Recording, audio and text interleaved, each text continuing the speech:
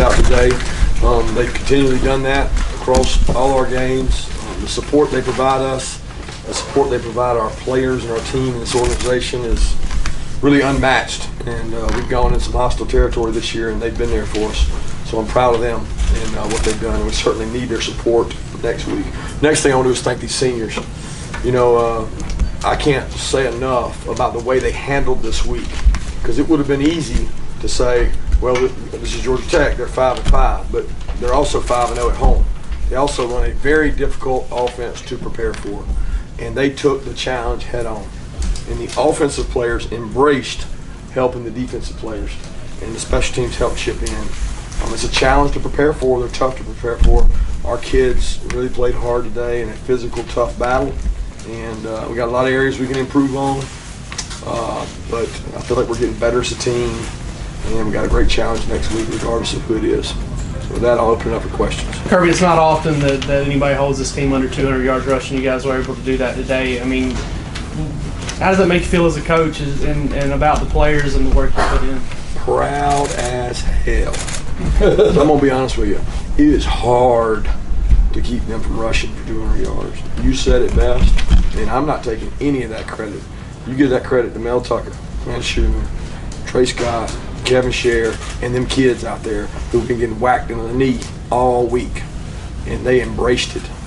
They looked at it like it was Little League football on Saturday down at the park over in Tucker, down in Montezuma. Just go play tackle football on Saturday when nobody's watching and just go out there and knock the hell out of each other. And they loved it. And they did a great job of doing it. They embraced the challenge. And uh, I'm proud of them the way they competed. What can you take out of this result in this game into the SEC championship? game? Absolutely nothing. Absolutely. I mean, defensively, absolutely nothing. There's not one call we call today that we'll call next week, regardless of who wins. So the preparation are polar opposites. So we've got kids who went a week without hearing any call that they'll hear this week. But we got to practice a lot of tackling. We got to practice a lot of cutting. And uh, we got some tough kids that really bought into the, the, the idea of playing a tough offense. Coach, when did you decide to start uh, putting in extra preparation on Mondays? And how much did it pay off? About 365 days ago today,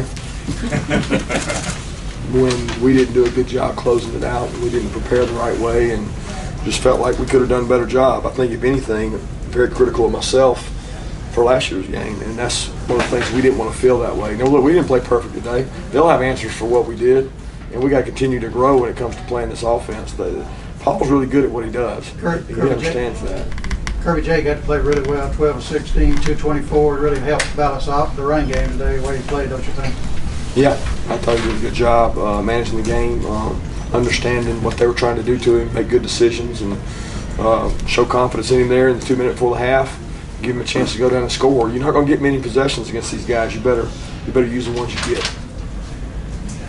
Good, Coach, uh, you jumped on uh, Roquan Smith's back there at the end of the game. I thought that was sort of metaphorical a little bit or whatever. Can you just talk about the job that that guy does, sideline to sideline, how important it was today? Machine. Mean, he is a tackling machine. What he did today, and I can't say because I, didn't- I haven't watched the tape, but what I feel like was what I saw all week in practice. I mean, the guy's sideline to sideline, relentless, athletic, tough, competitive, leads, talks when people need talking to, quiet when he needs to be quiet. I mean, he's a he's impeccable character, and just proud of the way he works and buys into what we believe. Um, Coach, follow up on that. uh, I mean, can you sort of share some things that you may have said to him uh, after the game, after performance? I didn't say much to him after the game. Just the fact I love him, and uh, I think he's a, a great kid.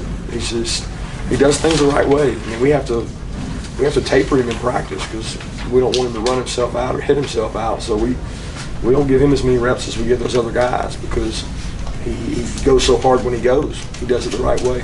So I'm just proud of him. I don't I don't thank him enough. Obviously externally, there were some questions about your team after the Auburn game. Could you just respond about, or remark about how they've responded since then? Uh, they come to work every day. Um, all we talked about after that game was playing with more discipline and, and, and improving. and we've tried to improve each week in practice to get better, going against each other. I think we've been able to do that. And, uh, excited about the opportunity these guys got. They've earned it. Uh, Coach, you gave up a few long drives there in the first half, not so much the case in the second half. What kind of defensive adjustments did you make at halftime that caused that? None. None. Just tackle the man with the ball. You know, you, you can't make adjustments against this offense. You, you got to do what you do, and you got to do it well, and you got to do it with great discipline.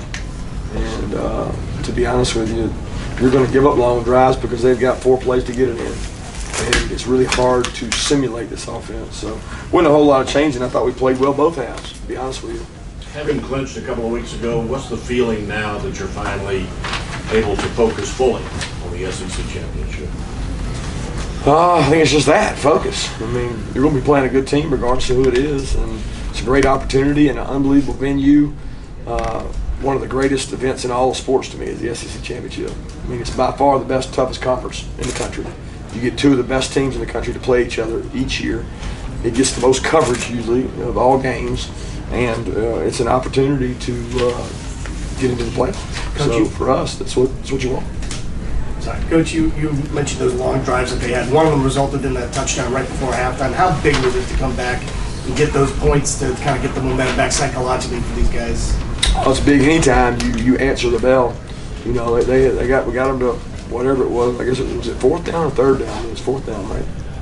Maybe third down. I mean, either way, we're sitting there with an opportunity to, to, to hold to a field goal or you know uh, get the ball back to the offense. And you know, Paul does a good job. He, he managed the clock. He milked the clock all the way down. We knew we had three timeouts. I was telling Jim the whole time that I wanted to try to go score, get points because you don't know how many possessions you're going to get. And uh, it didn't matter how low the clock was. We wanted to at least try to get points out of it. We got a good field goal kicker, and uh, we were able to do it. I hate we had the breakdown um, for the touchdown, but it's just part of it. They did a good job. Kirby, You with their style of hour offense, is it difficult? Is it mentally more stressful because of their style of offense when you come to play them when you play them, generally speaking? You said I didn't catch. Is it is it is it more stressful than usual considering how much time they chew up, et cetera, when you're dealing with that? I think it's more stressful on our offense because they know they've got a limited number. I don't know if you're asking about it. They got a limited number of times to touch the ball. I don't even know how many possessions do we have today. We we usually average around 11 or 12 a game. I don't know what it ended up being today. Maybe we got our 11, 12 in. Last year we did. But you got to make the most of them because they chew the clock. He was very patient with his offense. He made sure he built the clock and they run the ball a lot.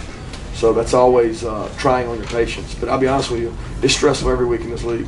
Kirby, do you know if Trenton was banged up uh, on a cut block and with Christian Payne, what's his injury? Is he available next week, do you think? Uh, I'm not sure on uh, Christian. You know, Trenton, I have to watch the tape. I don't think it was. I think it was just a double team. Do you amend the 24-hour rule given the fact you're going to know who you're playing tonight? Yeah, I don't. I mean, we don't really have a 24-hour rule. We're, we're concerned with who we're playing right now. We just don't know who that is. But we enjoy it in the locker room, and then it's time to go to work. You have a preference on who you play next week? Absolutely not. How quickly will you get to to prepare? I mean, uh, you gonna go watch that game right away as soon as you can and start? Well, we got to get home. We got to put this game behind us. We'll have to take a lot of notes for this game because it'll prepare us for next year. It has no, at least defensively, it has no uh, bearing on this next week's game. But we got to take notes. We got to talk about how we prepared, what we did well, what we didn't do well, so that next year we can use the Thanksgiving week to prepare the right way. So we got to clean all that up. But outside of that, we'll be getting ready as the, the game goes on. I mean, we've got everything broken down on Alabama. We've got everything broken down on Auburn. So we're set to go. And uh, I've, I've been through this several times before where you didn't know. You had to wait until the last week. And that's just the way you prepare. What are some areas of your team that you think have improved the most in this regular season? Special teams from last year to this year, we had a lull in there somewhere. And special teams didn't didn't play great. I think they're they're they're performing at a high rate. Um, you know, defensively, it's hard to say because we've had some games where we didn't play real well in the stretch, and today was not really a, not really a true indicator. You know, you can't measure things by the day. You know, we measure by tackle under the ball, but it's nothing like what we're going to play against. Just completely different. So, uh, offensively, we've grown. I think uh, Jake's gotten better, and uh, we're certainly trying to improve the passing game, as everybody knows. Kirby John Atkins said uh, his scout team did a tremendous job on offense preparing you for this game. He said they, were- they were fast and quick too. I'll be honest with you, that's probably the best scout team performance I've ever seen in a week, where we took some guys, those backup fullbacks, uh, Turner and uh, uh, Jake Gross, and those guys did an unbelievable job of being guards and tackles, really quick guys. Uh, we brought extra O linemen over there. We had two O line groups. We uh, we had extra receivers. We had two or three quarterbacks. I mean, we got a tremendous picture from the scout team. I thought it really helped today.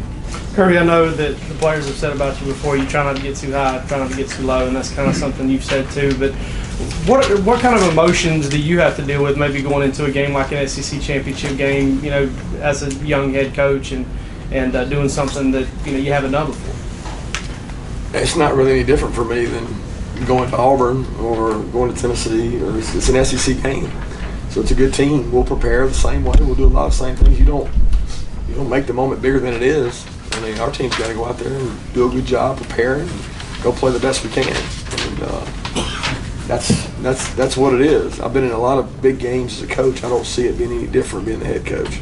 I wanted to win those as defense coordinator just as bad as I want to win this one. How do you think Sony Michel played today? Thought he played tough. Thought he played physical. He earned some hard yards, and he's one of the best competitors I've ever been around. What did this win mean to you? a lot personally after last year, you know, and uh, a lot of our seniors talked about, you know, you guys make a big deal about a revenge tour. We try not to make it about that, but we checked the last box on that list today, and uh, it meant a lot to send these seniors out the right way. I mean, I, I still have memories of Nick Chubb sitting in my office and telling me why he's coming back. So I wanted it more for him than for anybody, and uh, to send him out the right way, and really all of them, but it's just Nick specifically said he couldn't sleep at night thinking about it, and gave him an opportunity to go to sleep now. That said, last year, uh, tons of pictures like those guys in the hedges.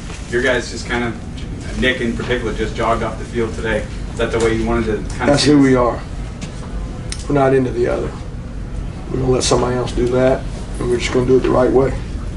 With all of your experience in the SEC championship, what's your message to the players who haven't been in that situation?